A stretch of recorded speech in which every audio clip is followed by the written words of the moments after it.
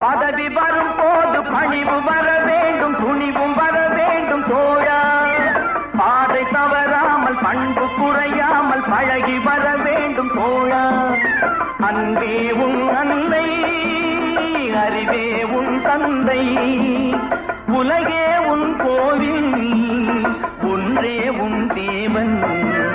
மூன்றெழுத்தில் என் மூச்சிருக்கும் அது முடிந்த பின்னால்